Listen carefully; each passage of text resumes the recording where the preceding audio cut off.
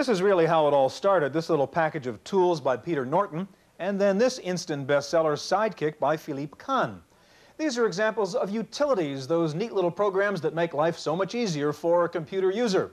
We're going to take a look at the newest utilities on today's edition of the Computer Chronicles.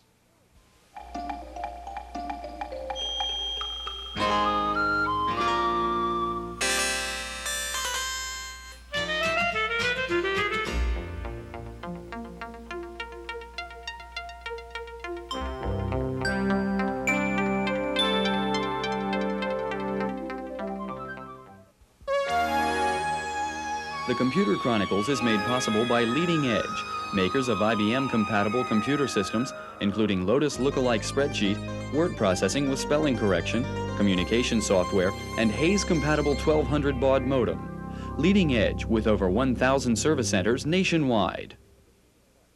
Additional funding is provided by McGraw-Hill, publishers of Byte. Byte's detailed technical articles on new hardware, software, and languages cover developments in computer technology worldwide.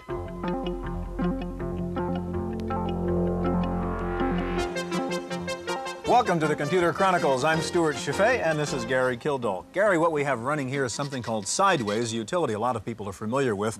What it lets you do is print out a Lotus spreadsheet horizontally rather than vertically, which of course makes a lot of sense, and it's something you couldn't do just through Lotus 123, hence a utility. Some utilities like this work with application software, others work with operating systems. I was wondering, as a guy who designed an operating system, does it bother you when other guys come along and write utilities you never thought of in the first place? Not really, because when you're designing an operating system, it's really hard to tell what people are really going to want, especially when you're trying to keep the memory requirement, mm -hmm. requirements really small. Uh, in the case of CP/M, for example, one of the first utilities that came out was an undelete program, and that's to recover the programs you just deleted. And when you're designing an operating system, why would you want to undelete something you just deleted? right. We're going to see some of the newest utilities on today's program, from disk optimizers to memory expansion emulators to something called an intuitive processor. First of all, we're going to begin with a background look at some of the past and present uses of utilities. To most computer users, utilities are convenient accessories that perform mundane computer housekeeping chores, like copying a disk or telling the time. But as files grow and applications become more complex, utilities take on new importance. The Laserite shop in Palo Alto, California provides an elaborate array of electronic publishing services, from typesetting to graphic design. Laserite depends on a group of specialized utilities to organize and manipulate their customers' files. A utility called TOPS makes it possible to transfer IBM text files over their AppleTalk network to a Macintosh, where the files can be reformatted using another utility. To change the size of graphics while retaining the same proportions, the Laserite staff uses an electronic proportion wheel utility. And to support electronic publishing's PostScript language, a template utility. Like many computer users with hard disks, people at Laserite face the aggravation of mislabeled or misplaced files. A utility called Locator can recover them using just a single keystroke and trace the file's directory and subdirectory. In spite of their unglamorous reputation as program accessories, utility packages have grown in popularity and functionality, at least occasionally crossing the barrier from desktop organizers to mainstream software.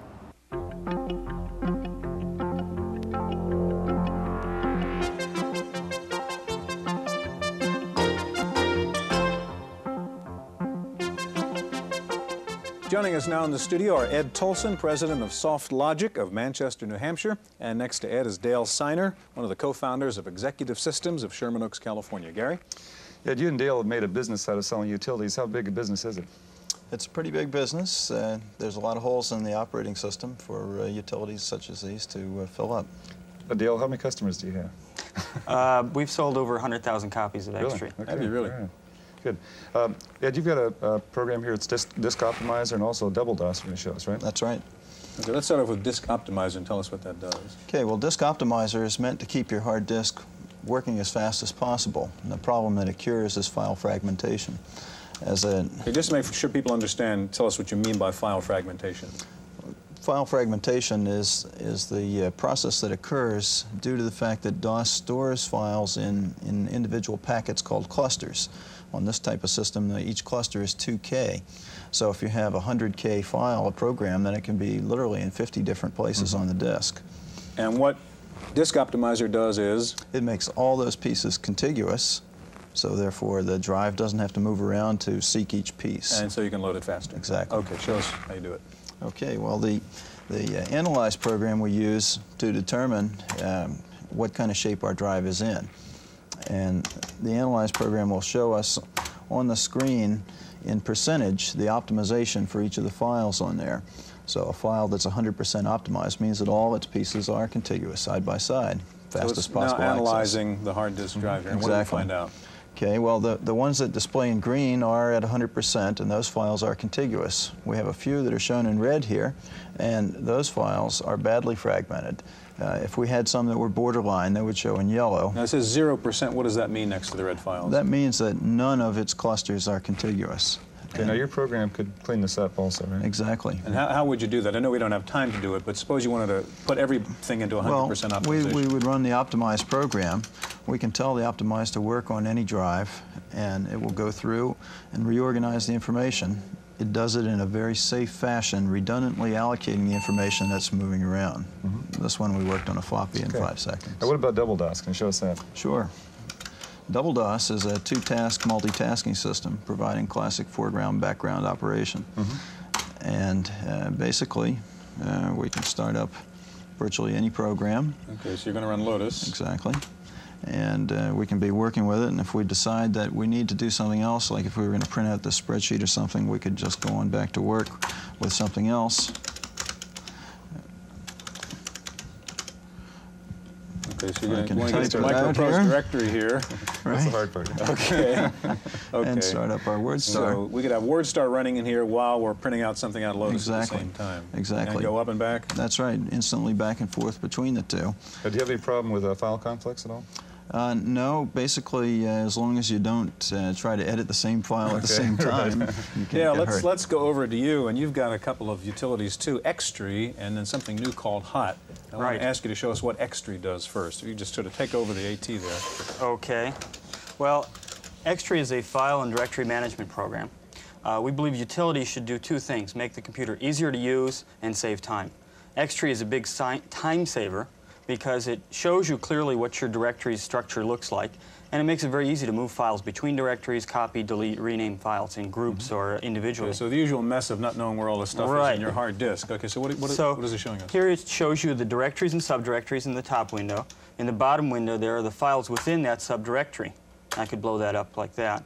And I can also show all the files in all directories. Regardless of directory, these are all the files. And you can sort those files in a variety of ways? Alphabetically, by extension, by size, or by date and time. And, how then- long have you been selling Xtree? Uh, about 18 months. Okay. What's it, what's it cost of a product like that? By the way? 49.95. Mm-hmm. Okay, now the, the new thing you have is Hot, another utility, and if I can ask you to get Hot up, Okay.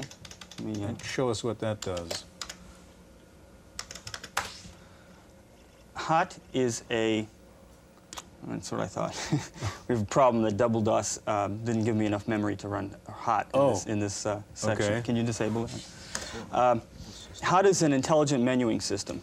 It uh, first of all, for the easy, for the novice user, it automatically builds menus for you. You don't have to do anything. It'll build menus on the applications that you already have on your system. For the more experienced user, he can go in and tailor those, app, those menus to whatever his application needs are.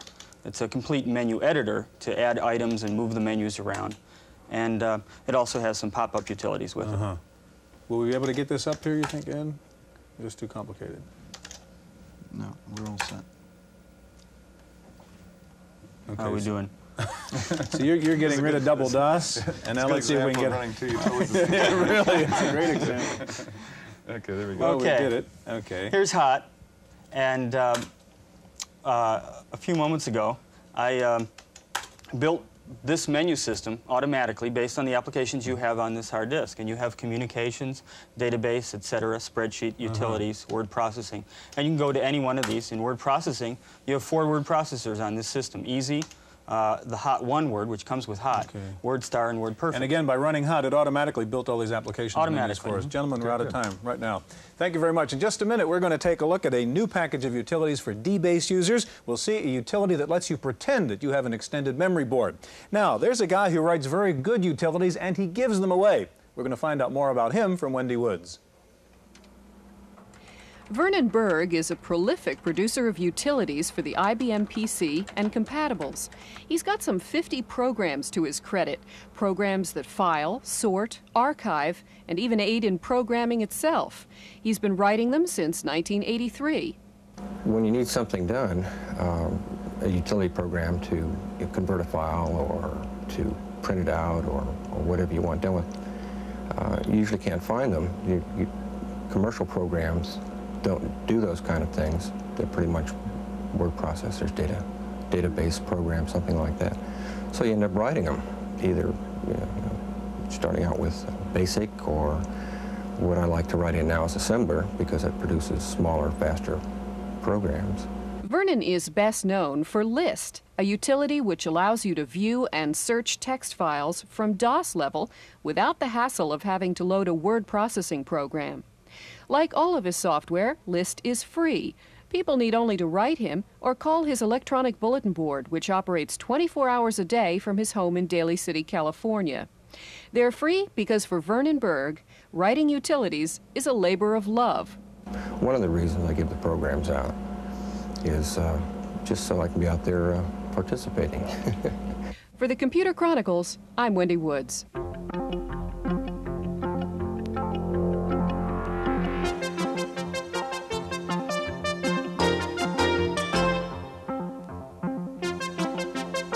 Joining us now in the studio is Karen Lund, president of Teleware Incorporated of Pittsford, New York. And sitting next to Karen is Robert Hoffman, who's development manager for Ashton Tate's publishing group based in Torrance, California. Gary? Stewart, you know, back in the late 70s, the heart of this machine, the 8086 processor, was designed with about uh, 640K of uh, main memory.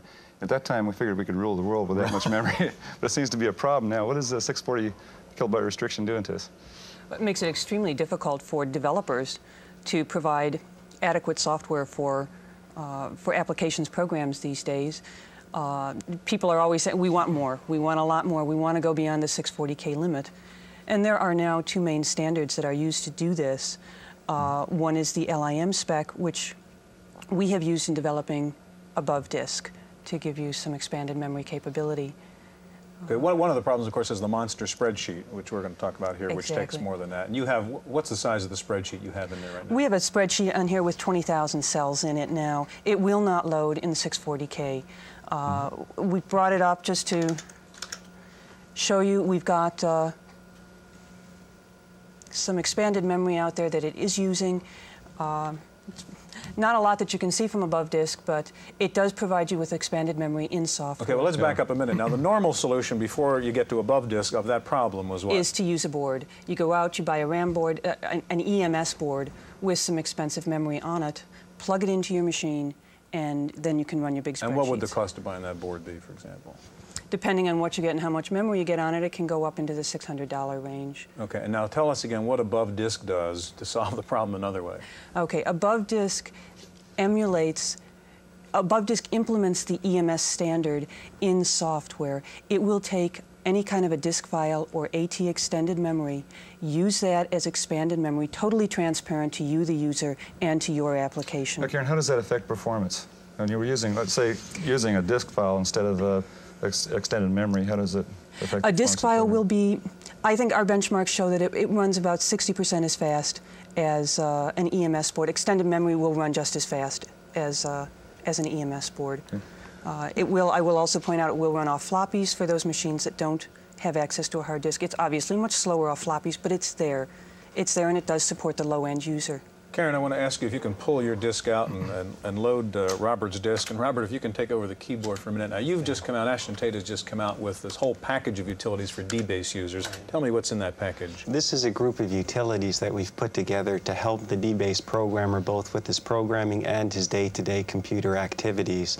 It's broken up into three groups. The first is a series of assembly language modules, which are callable and loadable from DBase.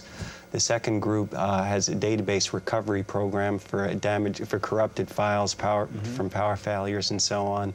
There's a, a debugging, structuring, cross-reference, symbol table type program, and then a series of, of DOS level maintenance utilities. Okay, can we take a look at them? Yeah, here's a, a bit of fluff that just shows off a few of the modules uh, for screen control. Uh, there's also one that gives you direct access of the serial port, which could be very useful for writing an auto dialer from DBase. Um, this one also saves screens if you like. Okay, how about D repair? That's the one that Okay. sounds uh, like I might need it. Here's a, a database that we offer up for sacrifice. Okay. that uh, we're going to zap inadvertently, which in DBase just takes care of everything. Um, this is, could also help in if someone trips over the power cord and you, So the situation is inadvertently lost a whole uh, yeah, file here. Okay. okay. And what are you going to do? Okay, so what we're going to do is bring up the recovery program,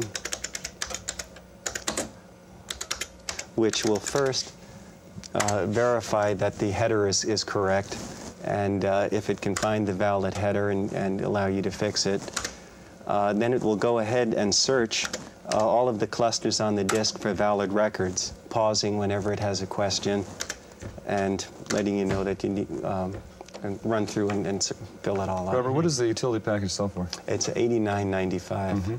And that's, Sounds like a pretty good price if you corrupt your disk once. that's for sure. one, one save is worth it. Karen, Robert, thank you very much. Now, in just a minute, we're going to take a look at intuitive processing and clairvoyance right on your PC. So stay with us.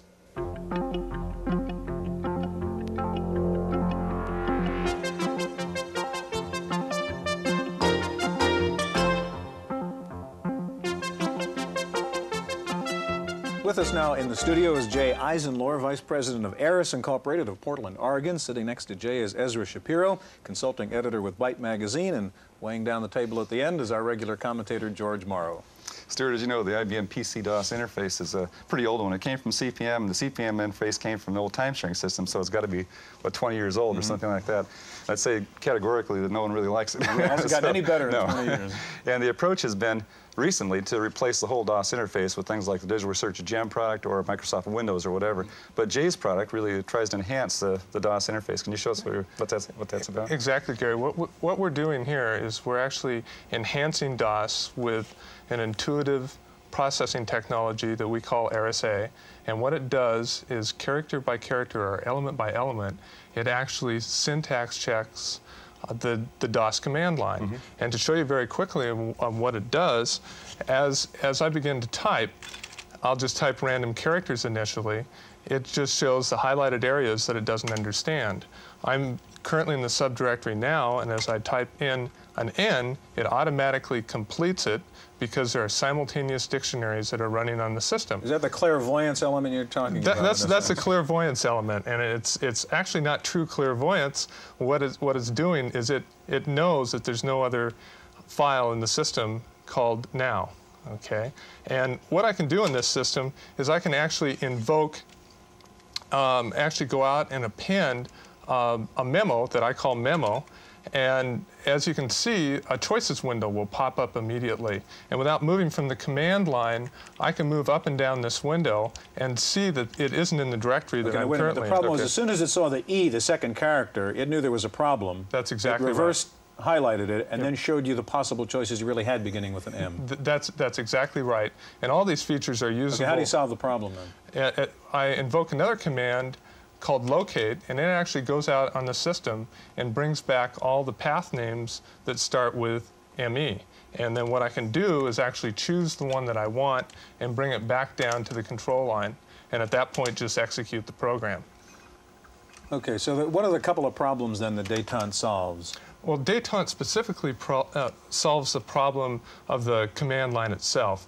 Rather than hitting a return and getting back a bad command or user file name, uh, you're, you're guaranteed by the time you get to the end of the line that you're going to you're going to have a good command line. You just can't get away with a mistake and it'll show you what the mistake That, was. that's exactly right. Jay, and this, this product is a, a program that uh, loads into memory just stays there. And it's, it's a memory resident program, and it actually builds a dictionary of all the user's files and path mm-hmm. names. Okay. Well, what does it sell for? It sells for $75 list price. When you say your intuitive processing technology, what's it mm-hmm. really doing there? What do? Well, what, what it's doing is it's checking on an 8088 machine at 500 microseconds. It's actually doing a compare against the dictionary.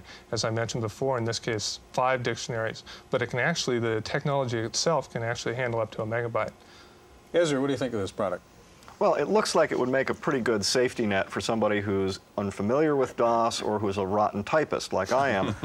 the question I have, though, is that if you're a good typist and you're up to speed on what you're doing in DOS, this thing might get in your way. In- in what way? Well, you want to type something other than the choices it wants to offer you. You have a screen of choices coming up. I haven't really seen the product before today, so I don't know whether it's configurable. But my snap impression looks like that it, it might be a nuisance to somebody who's real adept at doing what he's supposed to How do. do you answer that, Jay? Well, um, it is configurable. It's totally configurable. And the whole idea of intuitive processing is to be able to customize according to the way you type. And in this case, I have spell checking on, I have auto choices on, I have clairvoyance on, and I have auto save dictionaries on. Uh, we can turn all those on and off, just as we can in our word processing product as well. And the, and the whole idea of this technology is to be able to customize it according to the way you type.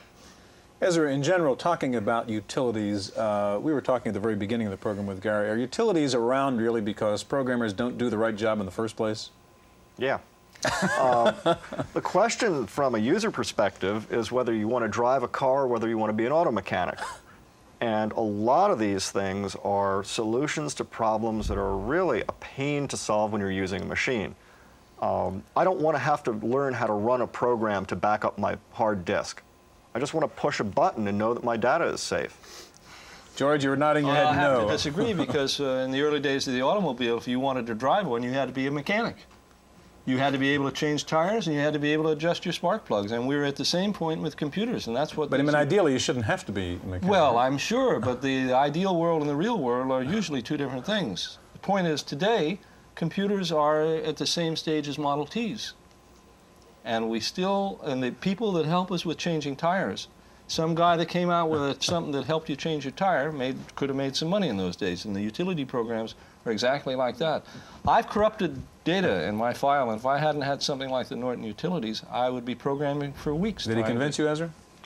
Oh, he convinced. Yeah, I'm, I'm saying roughly the same thing. What disturbs me is that we do have to do a lot of, um, oh, checking and protecting ourselves in a way that is not particularly a lot of fun. And yeah, I'd love to see in the next generation computers smart enough to handle a lot of the things that utilities handle by themselves. We're almost out of time, George. I'll give you 10 seconds. Well, Gary and I uh, uh, date back a ways, and we can see today, I'm sure both of us agree that things are a lot better than they used to be, and uh, probably another 10 years they're going to be a lot better than they are today, we- and, and we'll get closer to Ezra's world. And we've certainly seen some pretty interesting utilities today, actually. Sure. Gentlemen, thank you very much. We'll be back in just a minute with this week's computer news.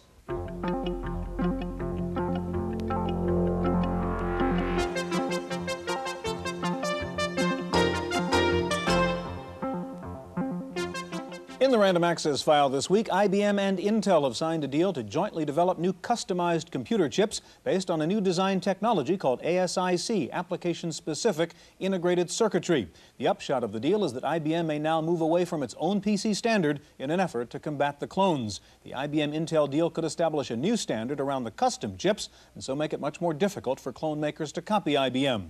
The other major effect of a new standard for the next generation of IBM PCs would be confusion in the software marketplace. IBM also in the news this week with a prediction of lower profits for 1986. If that happens, this would be the first time since the Depression that IBM had declining profits for two consecutive years. The standard for speed computing has always been the Cray supercomputer, but this week ETA Systems of Minnesota announced a new supercomputer, the ETA 10, that can perform 10 billion arithmetic operations per second. That makes it 40 times faster than a Cray 2. The first ETA 10 will be installed at Florida State University in a few months. Lotus has formally introduced its much touted HAL interface for 123. HAL lets you communicate with Lotus in plain English so that you can now command Lotus to graph column 3 as a pie chart rather than hitting GTP AB6.B9 return XA6.9 return V. HAL also logs all Lotus commands so that you can review what you did and it provides several other Lotus utilities. Time for this week's software review with Paul Schindler. Sure, I can fix my PC myself. But every time I take the skin off that sucker, it makes me nervous. If you're like me and you're not too pleased about having to guess what you're doing inside of an IBM personal computer, check out ServTech.